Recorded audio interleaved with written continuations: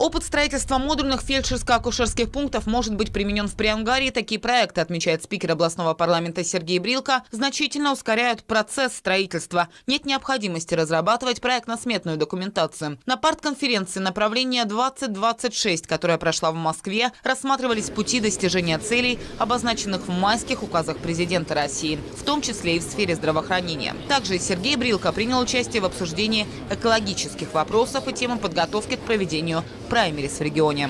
Процедура предварительного голосования в Иркутской области идет ровно. У нас э, идут дебаты на 79 площадках. Две трети дебатов уже прошло.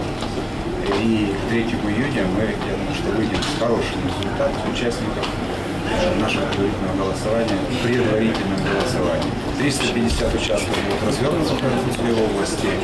И я абсолютно уверен, что мы проведем эту процедуру организованно и качественно. В рамках конференции «Направление 2026» помимо пленарного заседания дискуссии развернулись на трех основных площадках. В работе одной из них «Экономика роста» приняли активное участие как спикер Заксобрания Сергей Брилко, так и председатель Совета директоров оборонпрома Сергей Сокол. Как отметил участник регионального праймерис, сейчас важно привлекать в регион крупных инвесторов.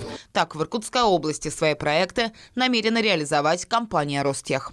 Уже известна цифра 30 миллиардов, которую Ростех готов вложить в программу создания среднемагистрального самолета МС-21.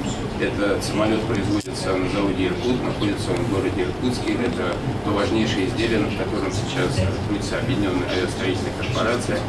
Мы, говоря о промышленности, говоря о развитии промышленности, мы обязательно должны помнить, что надо заботиться об экологичности новых производств, обращать внимание на глубокую переработку сырья и на развитие малых производств. По итогам конференции участники приняли резолюцию, которая объединила результаты работы на всех площадках. Теперь документ станет одним из основных для работы отделений партии на местах. Галина Тюрнева. Новости сейчас.